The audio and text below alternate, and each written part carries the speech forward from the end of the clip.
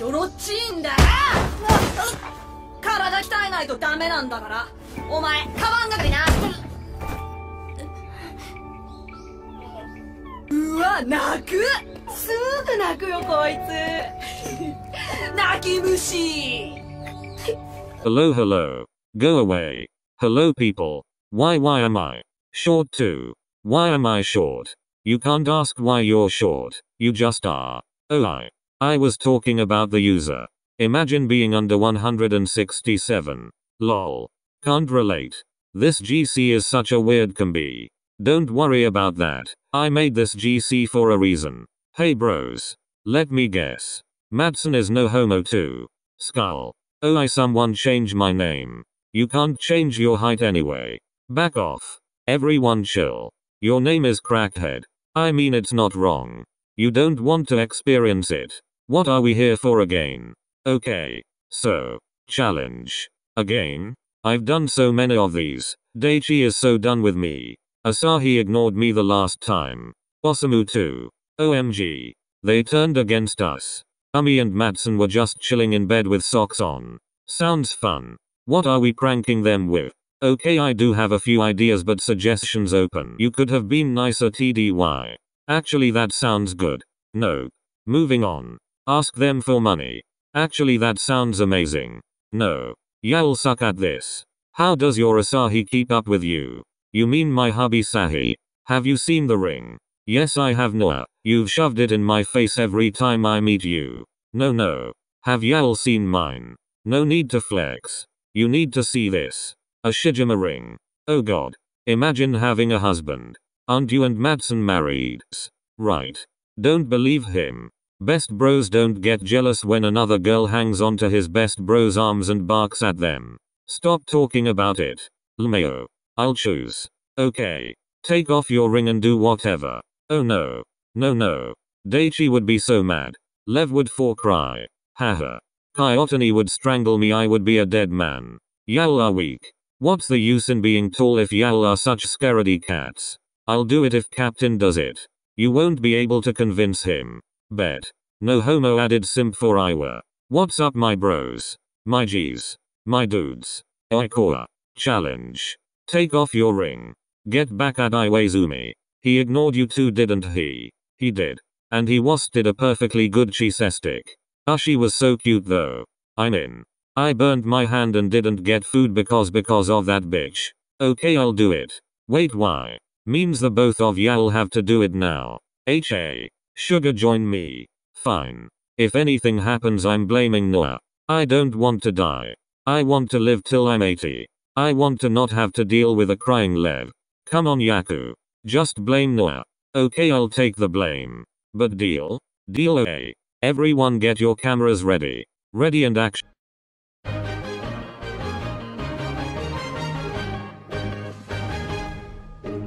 Noya sat at the countertop as Asahi busied himself with making dinner. BB why can you hand me the soya sauce? Noya jumps off the chair, his ring in hand. Okay. He walks up to Asahi, who has his arm stretched out while the other stirs the pot. I can do this. Noya whispers under his breath. Noya. Noya places the ring in Asahi's hand, turning on his heel and walking to the bedroom. OMG OMG. I can't believe I did that. He's gonna kill me. There was silence before a clatter of pots and pans could be heard. Noya. Where are you? Noya buried his face into the pillow, refusing to respond to Asahi. Noya. I'm serious. The door of the bedroom was slammed open. Noya turned slightly to look at Asahi and immediately hid his face back into the pillow when he saw the rage on Asahi's face. Baby, I just want to talk. Noya mumbles something incoherent into the pillow. Talk to me please. What does this mean? Are you trying to say something? Sahi. I can't stop you if there's someone else Noya. I just want to see you happy. The last six years have been amazing. And I couldn't have asked for anyone better. Asahi wiped his tears away quickly and placed the ring in Noya's hand. At least keep it as a memory of the time we've spent together. Asahi. Noya burst out in tears, wrapping his hands around Asahi.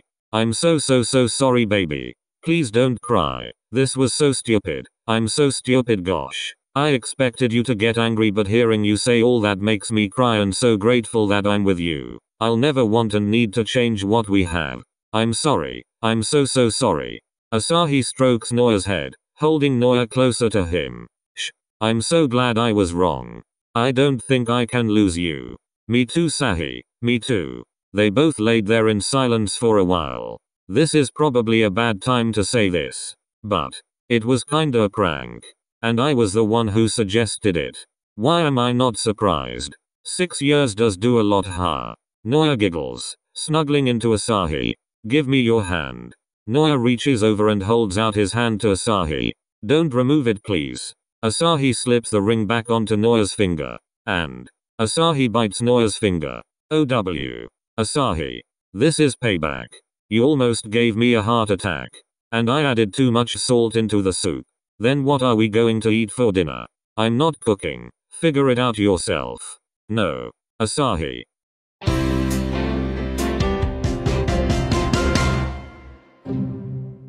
Can you come and help me put this in the storage? Of course Yaku. Yaku hands him the boxes, Lev receiving them while bending down to kiss Yaku on the lips. How is it you're still so cute? And so short. I would like to see you continue saying that. He shorty. Yaku glares at Lev while reaching for more things to hand Lev. Take this with you too Lev. Yaku hands Lev the bracelet that was part of the set Lev and him had gifted each other years ago. Go quickly. Why are you giving me this baby? Yaku does not answer as he continue to look through the cupboard. Yaku. Baby. Is it too small? Is that why you took it off? Baby can you stop what you're doing for a moment and explain exactly what this means because I hope it doesn't mean what I think it does. Yaku turns to look at Lev for a moment before returning to what he was doing. Bring those to the storage room please. No. I love you Yaku, so I'm not leaving until you talk to me. I just talked to you. I meant it about this. Lev holds up the Cartier bracelet which was identical to the one on his wrist. How did you even find the screwdriver for it? I kept it so high up. There's no way you could have reached it. Hey I could reach it okay. I used a chair. Now you're talking to me. You're no fun. So. It was a prank Noya made me do. Wait. Wear it back now please. Where's the screwdriver? Yaku pointed at the table. There. Lev snatched the screwdriver from the table and held onto Yaku's hand, placing the bracelet back on. Are you mad? No. You are. I am. Kiss to make it better? Kiss. Yaku wraps his arms around Lev's neck, jumping into his arms. Kiss kiss.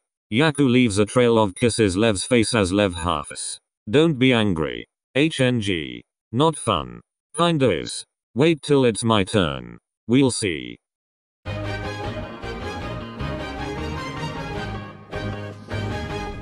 Koa plays with the ring in his hand, twirling it around. Iwaizumi walks into the living room, closing the main door. Toru, I'm in here. Oikawa calls out from the dining room. Are you hungry again? What are you doing? Iwaizumi leans down to peck Oikawa on the cheek. Sit down Iwa I have something to give you. What is it Kawa? Why are you so serious? Sit. Iwaizumi sits on the chair beside Oikawa, holding onto Oikawa's hand. Hand. Iwaizumi looks at Oikawa wearily and reaches his hand out. Oikawa places the ring onto Iwaizumi's hand and looks at Iwaizumi looking for a reaction. But he didn't get one. Oh. I was gonna ask it back from you anyway. Saves me the trouble. Oikawa was not expecting that. Oikawa. Wait. What did he say? What does he mean? Iwaizumi does not say anything more and stands up to head to the bedroom. What? Oikawa sat at the table, dumbfounded at the situation that had just occurred. Against his own will, tears started forming in his eyes. Ouch. All these years, meant nothing for him to be able to brush me off just like that. The bedroom door opened again, and the shuffling of Iwaizumi's feet could be heard. Ha. There was a pause in the shuffling before Oikawa felt arms wrap around him. Baby baby. Why are you crying? No no no what's wrong? Why you're ask asking me? It's you. I can't believe you would do this to me. I was just joking. Do I mean that little to you? Oikawa tried to push Iwaizumi away as Iwaizumi tries to soothe Oikawa. Listen to me Kawa. You got this all wrong. What did I get wrong about how much you don't even care after all this time? Baby listen. Oikawa stopped struggling, staring at Iwaizumi, cursing at him under his breath. Listen Oikawa. You're so wrong. I do care. I care so much for you that I can't even comprehend it. You are my life Kawa. Liar. I'm anything but a liar baby. You know that. Iwaizumi kneels in front of Oikawa, pulling out a black satin box. I went to get this for you. Iwaizumi opened to reveal a ring, one that looked familiar to Oikawa. I saw you looking at it the other day and I decided that it was time to get you a new one. I was going to ask you back for your old one so that I could turn it into a necklace. So that it's close to your heart and you won't forget me when you have to go overseas again. Hajime. I'm sorry I made you misunderstand baby. But don't even think that again. I care for nothing more than how much I care for you. Oikawa looks down at the ring box in Iwaizumi's hand before hiding his face in his hands. OMFG you scared me so much. I was so so scared that you were fine with leaving me just like that. I would never leave you. Now you know that. I do I were. I do. This is so stupid. I'm sorry this is my fault. It was both of our faults. I should have phrased my words better. You helped me actually. I wasn't sure how I wanted to give this to you. Okay. Stop talking. Put it on Iwa. I wanna see how it looks. Yes your highness. Iwaizumi sips the ring onto Oikawa's fingers, smiling to himself. I mean anything would look good on me so I'm not surprised that it looks good. It's definitely all due to me though. Sure Kawa, whatever you say. Now I want cuddles. For the tears you made me cry. I wonder if you'll be getting any. Don't think I forgot that this was supposed to be a prank. Wait I were. What's up?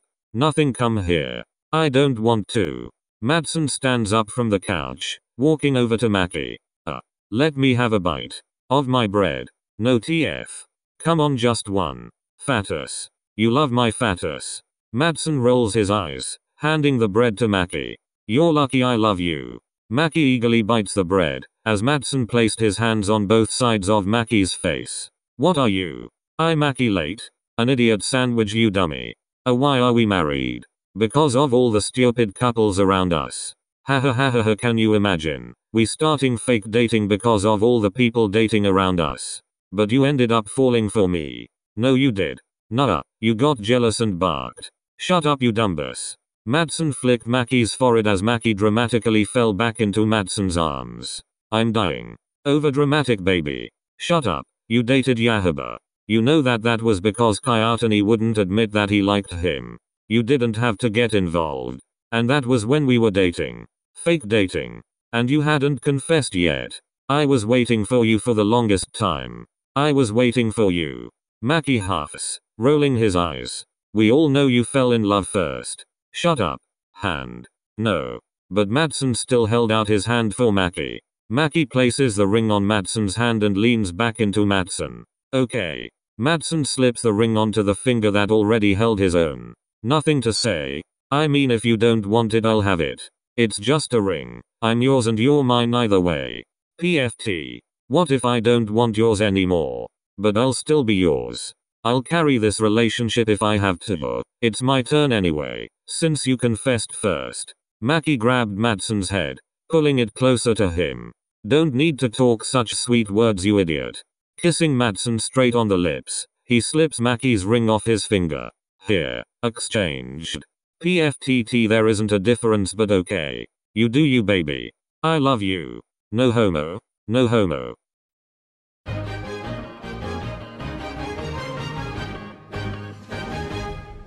Daichi sat across from each other, Daichi enjoying his food. Baby, did you wash the clothes? Daichi turned stiff to look at Suga sheepishly. Sorry babe, I forgot. This is the fifth time you've forgot babe. I'll do it now I swear.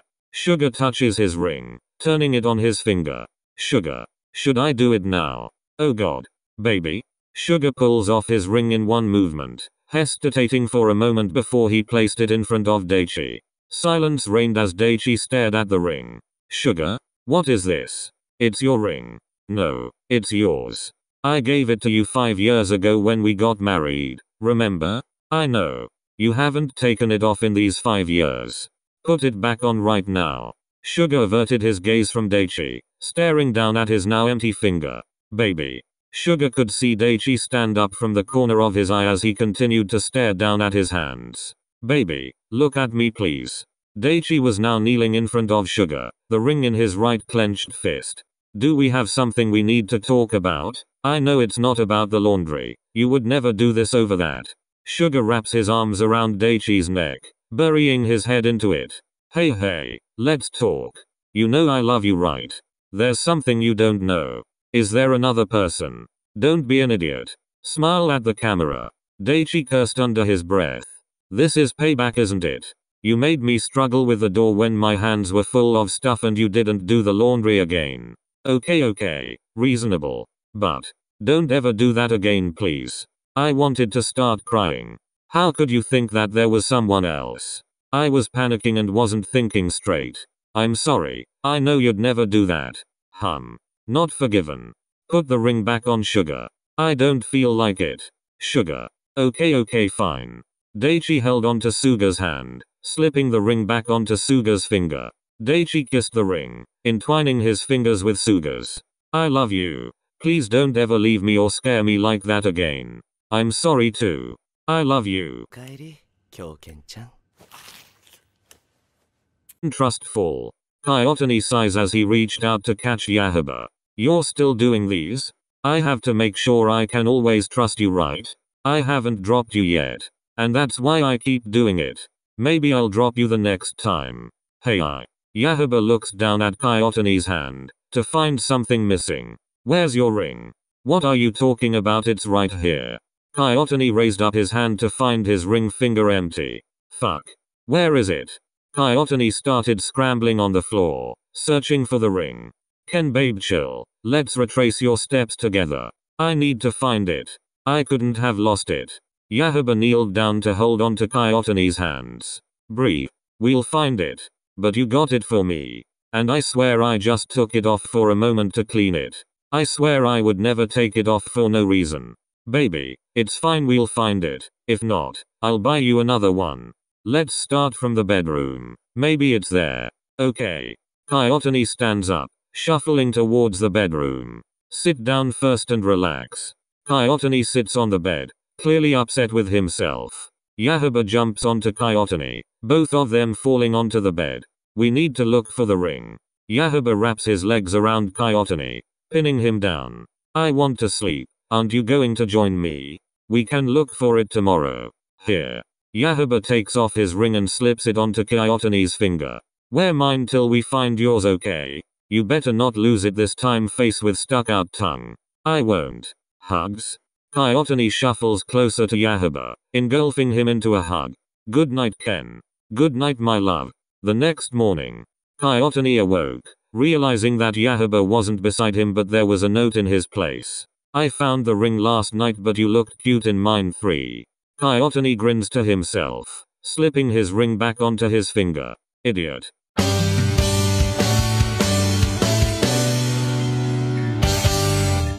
Ushi. Ushijima looks up from his practice video and tilted his head at Tendo. Yes Ten? Come here, let's talk. Ushijima places the iPad on the couch before walking over and wrapping his arms around Tendo. Not like this Ushi. Sit there. Tendo points to the seat opposite him. That's too far from you. You know I don't like to sit there. Okay then here then. Ushijima took sat on the seat beside Tendo. What is it Ten? Ushi, you know I love you right? Of course. And I love you too. Tendo strokes Ushijima's face before taking off his ring and placing it on the table. You'll understand why I'm doing this. Tendo stands up to leave only for Ushijima to hold onto his arm. Ten. This is yours. I gave it to you, like how you gave me mine. I know Ashi, and I'm giving it back to you. Ten. I don't want it. Take it back, please. It's yours. No one besides you should ever have it. I don't think I can anymore. Ten explain this to me. Why can't you? You said you would always explain to me things that I don't understand. I just don't understand what you're doing. I don't think I can do this anymore, Ashi. Is it the volleyball Ten? If I have to choose between you and volleyball, I wouldn't even hesitate. Ushijima stands up from his seat. You are always my first option. You know that, don't you? Tendo merely looked away. Tendo. Look at me, please. Are you telling me you can't see how much I love you? I know that Ushi. Of course I do. Then what's wrong tell me. I'll do anything I can to change it. But I won't let you go Ten. How could you ask that from me you're so cruel. Tears were falling from both Ushijima and Tendo's eyes.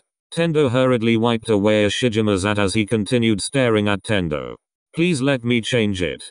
It's not your fault Ushi. It just me I've been thinking of things that I know you would never do. But you know how the insecurity and anxiety are getting to me. I don't want to be your burden Ushi I don't want you quitting volleyball for me. When millions of people are counting on you. But they don't matter Ten. Only you do. There is no point in me playing volleyball if it's not for you. How can I play a game without seeing you in the stands cheering me on? I just can't do it. You make me so strong but so weak. I'm just so scared Ushi. I hate coming home to an empty house and I sit in a corner till you come back because I'm so afraid you aren't going to. You have to come home from long days of practice to take care of me and I can't even do anything for you Ushi. I'm just a burden at this point. Ten. Don't say that please. It's not an obligation. I love you. I want to take care of you and make that you're happy and loved. But I clearly haven't been doing a good enough job to make you feel like this. You're not a burden Tendo. And you've done so much for me you've put up with me for the longest time and you're so patient with me you've stood by me all this time when no one else would and encouraged me like no one else has. That's why I'm always trying to make myself better. For you I want to be able to live up to your expectations so that you would be proud of me.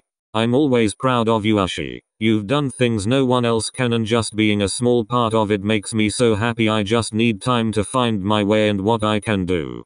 Comma I'll find it with you I'll never let go of you you can take as long as you want. Just know that I'll be by your side the whole way. I don't know what I did to deserve you Ushi. I really don't I must have saved a country in my previous life. I'm only repaying what you've done for me. I haven't had a chance to show you how much I wish I could spoil and treasure you. As always, at least we're under the same sky. You and I.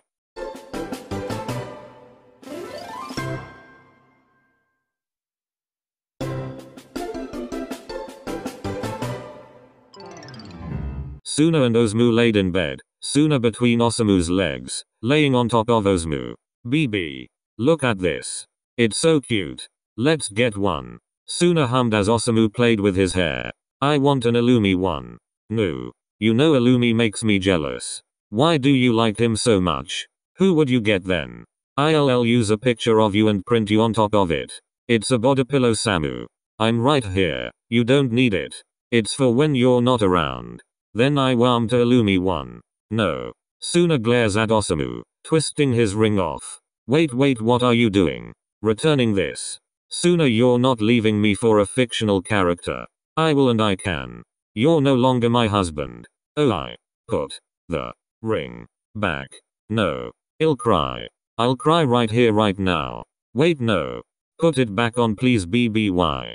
Fine fine. Don't cry. It was a prank Samu. Dart.